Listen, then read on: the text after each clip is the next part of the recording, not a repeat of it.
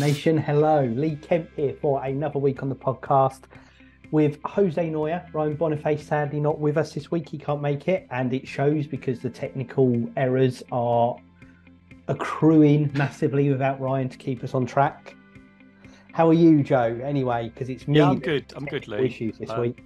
I'm good. I Had a little bit of a cough, but I know you've been really suffering, haven't you? So I'm really big kudos to you for keeping going, my friend. How are you doing? Yeah, I don't want, I'm good. I don't want to hear anything about your cough because I'm certain mine will have been far worse.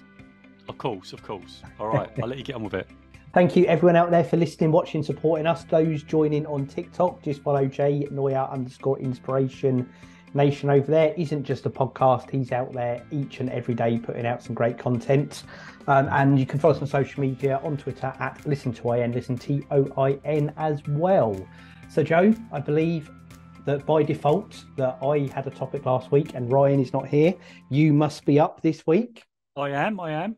Um, just want to give a quick shout out to Solka for jo- following us. So thank you so much for Solka, S O L Q R. Thank you for following. Really appreciate it. Join 10,000 followers. Thank you. Yeah, but it's up for me.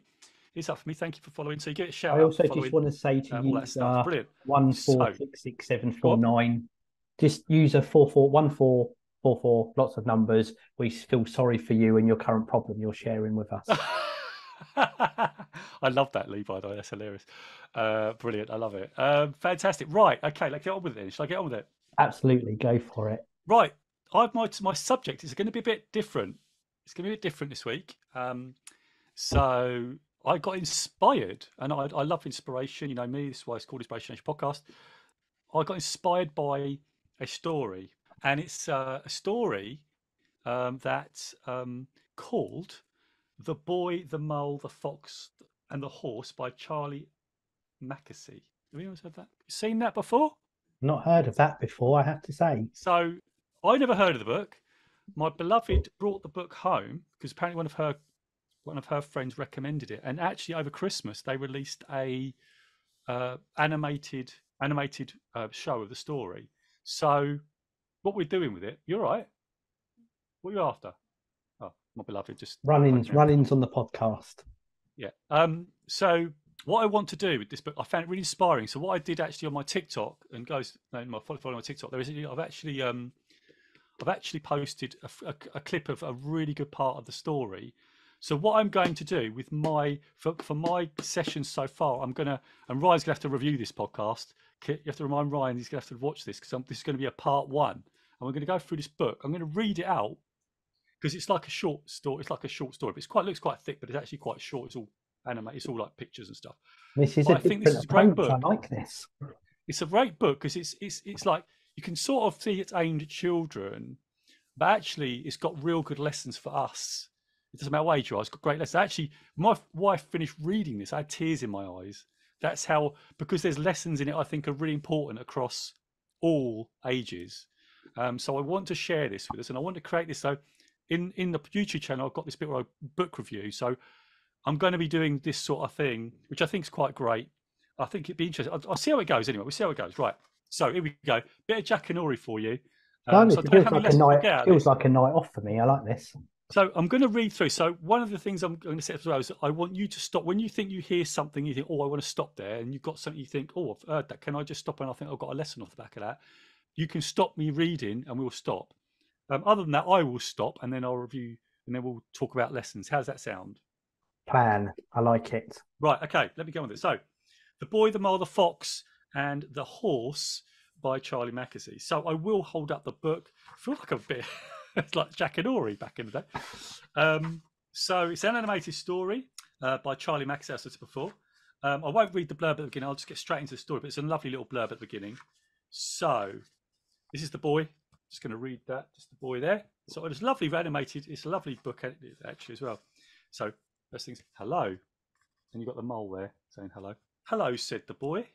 What are you doing here? asked the mole. I'm lost, said the boy. Let's do that so you know where I am in the book. Oh dear, well, that's no good. So, how did you get here? asked the mole. Let's do that as well. Well, well, hello. Well, hello who? Hello, cake. What cake? asked the boy. That cake. It looks delicious, spectacular. I mean, it's magnificent. I can't see a cake, said the boy. It's, it's, and it's him rolling up to the hill there. It's, oh, it's a tree. Right there. We there? It's a lovely tree and it did look a bit like cake. So, yes, well, no cake and you're lost. Yes. An old mole once told me when you're lost, follow the river and it will take you home. But I can't see a river. Perhaps you could see one from the from that branch. And if you happen to see a cake while you're up there, I'm so sorry, said the boy. Achoo! Oh no, I'm sorry, replied the mole. Are you okay? asked the boy. Completely my fault, said the mole. I'm really sorry. Well, no, thank you. I was feeling a bit warm, actually. And it's like, they're just in the tree. What can you see? said the mole. Nothing really. Oh, what do you want to be when you grow up? asked the mole. Kind, said the boy. Hmm, said the mole. Nothing beats kindness. It sits quietly behind beyond all things. And that's where I want to stop because that for me is one of the big lessons. And it's actually on that part of the story where I actually did record this bit of the animation. Yeah. So I want to talk about kindness. And in my little clip, I put kindness is king. So, Lee, what are your thoughts so far on the story and uh, a lesson of kindness? What are your thoughts? I completely agree with the sentiment about it being king. I think it was the right thing to say. Three or four years ago, it became a bit of a trendy thing to be talking about it. And I don't think it had been out there a lot beforehand as, as something people were promoting. I think the fact that it is is a good thing. What was the exact words? It comes before all things. How did it say Yeah. it? Nothing beats kindness. That's it it. sits quietly beyond all things. Which I think is a good lesson. I think if you can make that your number one mantra, I think that makes well for you and for other people makes things a lot better. I would say. Yeah, I would agree with that. I think it's that thing of actually having that intention Yeah, of kindness. And actually, since we've been sort of back in the new year, and I've, I've decided to get right back into my journal. I hadn't journaled since the 12 hour walk that I did. And so I've now I've started. not mentioned this twelve-hour walk before, Joe. Did I mention? No, just once or twice. Doesn't work so well without Riley, though, does it? Bless him. So I've just started on, on, on the intention. I'm putting an intention bit on my journal, and one of them is kindness. Second one's in the moment, and the last one is the one that you've adopted, non-judgment. I'm I'm going to try and be intentional about all those three things throughout the day. and I think they So- they kind of go hand in hand as well, don't they? Yeah, I think they do, and I think if I can, if for so for me, and I'm just on TikTok and everybody here, if we can maintain an air of that going into every conversation, every interaction we have with others, I think that's going to put you in a good place, even when you get people that are going to be horrible, that are going to be in your face. Because let's face it, you are going to face people that aren't going to be very nice sometimes, right? Or they've got an agenda, and you'll want to react to something. Um, so yeah, that was the reason why I loved this. In fact, on Instagram, this little post that I've done has got a, quite a bit of traction as well, which is it's still resonating with people quite That's well. really good. So I'm doing it anyway. How much time we got left? I don't know how much time we got left, but um, Go for it, I Joe. might- Go on to your next bit. I'll keep you on so I track. to the next bit. All right. Okay, so there we got to. Got to this bit here. Got to this bit here. Bit of Jackanory story. This is quite interesting reading this. Actually, it makes me a bit nervous. To be fair. Um, here we go. So much beauty we need to look after," said the mole. "Yes, so much." I'm just looking out there. I've Got to make sure I don't skip pages. Oof. Are you all right? Sorry. Yes, totally fine. Just thought we should start looking for that river. So he's just fallen off the tree. Lemon drizzle. This is quite a hill, so they're just climbing up a hill there. Um, is this better? asked the boy. So the boy picks up the mole. Well, I don't want to be too much trouble. It's okay. Well, thank you. What is that over there? It's the wild, said the mole. Don't fear it. Look, I can see a river, said the boy. So they're just looking at the river. You can see that there. Wait, what? I said, don't fear it. Not tra- not charge straight at it. I mean, really, good grief. So just charging at the river. He's going towards the river. Do you have a favourite saying? asked the boy. Yes, said the mole. What is it? If at first you don't succeed, have some cake. I see. Does it work? Every time. Did the old mole say which way we should follow? asked the boy. I didn't ask her that. Oh, isn't it odd we can only see our outsides, but nearly everything happens on the inside. I'm going to stop there because I think this is another good lesson. So, know, just staring at the river, and what the boy says, I'm going to repeat this again. Says, "Isn't it odd? We can only see our outsides, but nearly everything happens on the inside." What are your thoughts on that, Lee? I just want to uh, wind back slightly as well to the not charge, you know, the don't fear it, not charge into it bit as well, because I think there is a difference between not fearing things or respecting things as opposed to just being reckless and going head first. I guess it's the whole we talked about it before. Against there's a difference between being in the moment as opposed to just living without a plan, and they're two completely different things. And you can plan and live in the moment as much as you can not fear, but also be, you know, respectful or cautious or deliberate or whatever it is. So I, I think that one which you started with at the start of that bit there's a really good less a really good illustration on the river yeah. bit. Yeah, and, um, and so yeah, go winding back to that. I think you're absolutely right about that because I've been guilty of that. Just just going just go straight forward and not having consideration, perhaps maybe some, some things. And I just see, I think people you, can other people, right? That's it. And people can misinterpret when you say don't fear it, it doesn't mean don't be aware or don't understand or don't plan. But you know, fear becomes that thing that completely blocks you from doing anything. And you should do things, but you don't just do them blindly. And so I think that's a that's a good illustration there on that one. Doesn't strike him as much the inside outside one, if I'm totally honest with you, Joe. Is and I get the message. I just don't know what that it doesn't it doesn't evoke anything in me the same as the river bit did. So for me, it's about for me this is the this is the important thing because everything we sense is actually on the inside. You know, all these like, like we have an interaction now. We're on TikTok, but actually that's outside. But we all sense it inside because actually, if you think about it, we interpret everything by by what's inside us. Nothing's really when you think about it. Is the people ask, is this actually all real? Right? Because actually, we all experience everything from the inside. It's not on the outside, and that's what I love about it. Fear, you know, excitement, all those things and we get emotions they're all on the inside reacting or responding to the things on the outside and that's what i think they're getting at is that isn't it strange that you know actually when you think about it our brain is locked in our skull. It's never seen the light of day ever ever. It's just interpreting everything around us you know and we are making sense of the world through our own eyes, but we've never actually been outside ourselves. That's what I think I love about that. Is that I love that whole thing around that actually everything's up for interpretation. And that's why we've got to be really clear about our intentions and really clear about how we treat other people, like the thing about not rushing, about checking ourselves, like going, well, actually, how am I feeling about this? Or what am I thinking about this? And is that true? As possible, right? Because actually, we're never going to get to the truth, really, if you think about it, because we can only interpret everything. And that's what I think that gets at. That's why I think that's a really deep lesson. I think that's a really lesson that when you really think about it, that actually we've never seen the light of day, really. If you think, if we, if we think of ourselves inside, we've never actually been outside ourselves. You can imagine it. You can do the fly on the wall and be, but actually you've never ever been outside yourself, right? You might look in a mirror, but you've never, you've not seen yourself outside, which is the weirdest thing then I think about it even more. It just makes me think that is really strange because you just imagine it. It's um, you see yourself on video, you still don't get the whole picture, and that's what I love about it. So that for me, that's the lesson. Someone on Twitter, someone on TikTok uh, has asked, "What am I reading?" I'm reading "The Boy, the Mole, the Fox, and the Horse" by Charlie Mackesy. Just to let you know. Anything else from you, Lee? Do you think we've got enough for one more? I was going to say, I was going to say, I think there's one one more passage in you, Joe, before we carry this one over. Okay, I, don't, I haven't seen the, time yet. Right, okay, there we go.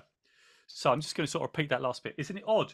We can only see our outsides, but nearly everything happens on the inside. So now by the river, just there. It says here, is there something there?" asked the boy. "It's getting dark. Shall we? Um, good idea. We can set off properly tomorrow," said the mole. Imagine how we would be if we were less afraid," said the boy. Most of the old moles I know wish they'd listened less to their fears and moved to their dreams, replied the mole. What do you dream about? How? said the boy. Oh, what's that like? I don't know. I'm not sure. Hmm. But I know I need one. And now something's coming into the picture. The fox is coming. Oh, golly. He looks hungry, said the mole. He does. It's okay. The fox has gone, said the boy. So it's just gone. What was that sound? asked the boy. I'm not sure. Do you think someone is hurt? Maybe. Should we go and check? Good idea. I'll stay in here to keep you warm. Okay, said the boy. Thank you. And there you go. Just got, just to go and see what's going on. It's the fox, said the boy. He's trapped. Sounds like just a trapped fox there. Oh dear, whispered the mole.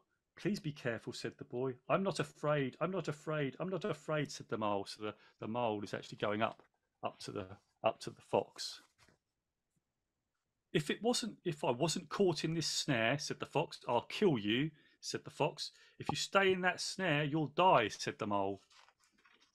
So the mole chewed through the wire with his tiny teeth. You did so well. And so what happened was that the mole released the fox. Anything from that? This feels like a good cliffhanger point to be leaving as well, Joe. I was hoping you're going to end on a point with a little bit of drama. Because is he now going to get eaten by the fox like like he promised, or is he going to be rewarded for letting him go?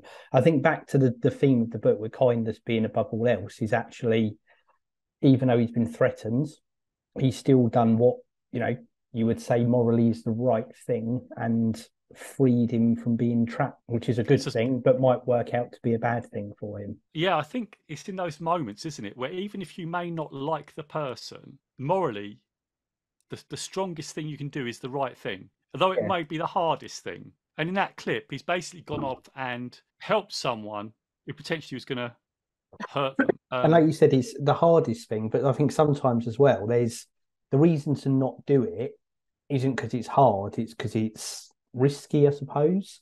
But then if he mm. doesn't, if he just chooses not to do it and he doesn't know what the outcome would be and he walks away, he's got to live with knowing he didn't do anything with it. So there's a bit of me with that. If you are going to, if you would worry about it, that it's almost easier to take the hard decision because it's got the best long term, well, hopefully the best long term We don't know, do you? That's the whole, that's it's the an, thing, isn't it? It's I guess it's an unknown outcome against a certainty of knowing you're going to be doubting yourself. It's a tough decision though. And again, it depends on the sort of person you are as well. But if we can practice these things like in the real life, and I can see this sort of coming up for people maybe you don't get along with, maybe there's family members or something. And this isn't so. So I think the wire is a metaphor for people, you know, that people may not appreciate you, like you, whatever.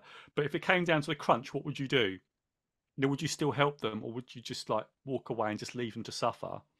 And I think this is a really great lesson because I think, you know, if we can get more kindness out there in the world, you know, and do these types of things, and, and sometimes we don't always make the right choices. Like, I know I haven't made the right choice in the past. You know, I've reacted to things where people haven't been too too kind, and I've not been kind back. Is that the right thing to have done? Right. And these are the things, the lessons that I think we need to take away from it. But who knows? In the next part of the story, I'll have to bookmark that. Yeah, keep it there exactly where it is, and we'll run into that next week. We'll do a part two Absolutely, we'll do, we'll do a part two to it. But I say, it, it, I think this is, and I would encourage anybody who's not watched it to go do it on BBC iPlayer. Go catch the animation. It's really great. Um, as I say, I, I, by the end of it, I was actually in tears. Like I had water. I mean, I, I watched it on my own early in the morning. It was quite dark, and it was it was it was a lovely um, it was a lovely, uh, just a lovely feeling to sort of think, God, there's a lot of good lessons in here, and I think this is why, this is why I think it's very useful. But Ch- Charlie Mackesy, absolutely ge- genius book, absolutely genius book, but written in a way that everybody can understand it, and I love it. I anyway. can see, I can see why it spoke to you, Joe. I absolutely can, and we will carry that on next week with part two. We, uh, are we going to do the part two, or are we going to like do your bit and do nah, the cycle? Do you think we should just do one after we're gonna, We're going to run straight into part two. We'll, okay. we'll we'll mix up the uh, mix up the order a little bit. Okay. All right. That's cool. That's cool. That's good. Fine by me. All right, That's cool. That is where we'll go. Out there, we thank everyone for supporting us, watching us YouTube, downloading us, whatever podcast platform you're on. Please leave us a review, hit that five star button, hit subscribe. All those things help us in the algorithms. Of course, tell friends and family. And for those out there that are trawling through the archives, we see you each and every week. We appreciate it. Loads and loads of content. Just head it over to inspirationnation.org.uk for our full back catalogue, as well as the merch store. Joe supporting a hoodie there, I believe. I've got my mug the old somewhere. style, old school. Hoodie. I like it. Look at that one. I've got my Inspiration Nation mug. Oh, you got I the mug. absolutely aren't using to store spare change and stuff in. Brilliant. Love it. Love um, it. All over inspirationnation.org.uk and of course follow us on social media at listen to IN, listen T O I N, and Joe himself Jay Noya underscore Inspiration Nation. Just put Jose Noya Inspiration Nation into Google and you will find him on pretty much every platform that exists. We thank everyone on TikTok for joining us again. Just follow Joe. You can join us live every week as we're recording. Get involved with the show. We appreciate all the support over there as well. Right, I think just for me to count us down now. Go for it. Three, two, one. Inspiration Nation. Inspiration Nation. Catch you guys later. Guys later. Let me know what your biggest takeaway is from this conversation. I'd love to know. Put it in the comments below, and I'll respond to every single comment because that's the commitment I make to you in this community. Also, don't forget to subscribe right over here because we need you to build this Inspiration Nation community to get the podcast out there and to help other people for free. And also, don't forget to hit that bell right over here because if you hit that bell, then you're going to know when another videos go live. And don't forget to check out these videos right here next to me because those are other podcast episodes that can really help you out. I really, really appreciate it. And lastly, don't forget out to check the newsletter. The link is in the description below. That's where I can talk directly to you without through the YouTube, throughout the social, because you can have a direct communication channel with me through the email and you can get to know everything that's going on with Inspiration Nation, ask me questions, and even give me suggestions on what you'd want us to talk about next. So I'd love to see you in the next video. So please click on those links. Please follow through. Please let's get this community building. I appreciate you. So until next time, I'll see you in next video, Inspiration Nation, and I'll catch you guys later.